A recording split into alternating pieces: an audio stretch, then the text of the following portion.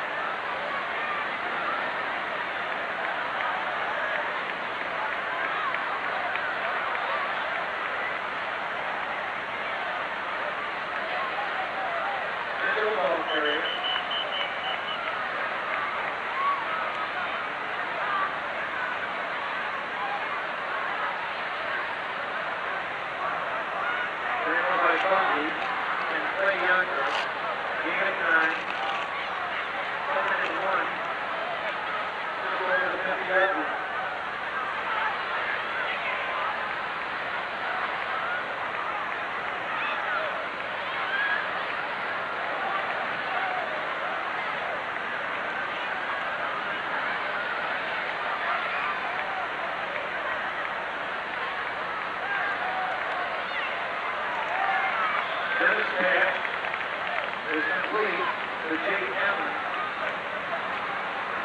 Covered by Graham Fuller. A gain of 12. Good for the one-yard.